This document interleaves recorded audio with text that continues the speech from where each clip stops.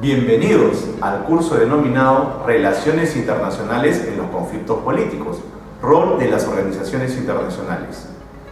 Ustedes, alumnos y mi persona, desarrollarán durante cuatro semanas los módulos relacionados al tema propiamente el rol de las organizaciones internacionales y qué cosas han hecho desde su creación en la actualidad con respecto a dar solución a estos conflictos políticos, que no solamente surgen a nivel del caso peruano, de nuestro país, sino esto es a nivel internacional. Y vamos a tener bastante eh, ocupación en el tema propiamente de América Latina, casos como Venezuela, como Colombia, asimismo vamos a ver el rol que han tenido estas instituciones a través del Estado peruano en cuanto a la conformación de las mesas de diálogo, la ley de consulta previa, etcétera, etcétera. Pues este es un módulo amplio en el cual vamos a tener que conceptualizar finalmente el tema en el cual también está inmiscuido el narcotráfico y el terrorismo como dos formas de promover los conflictos políticos en el mundo.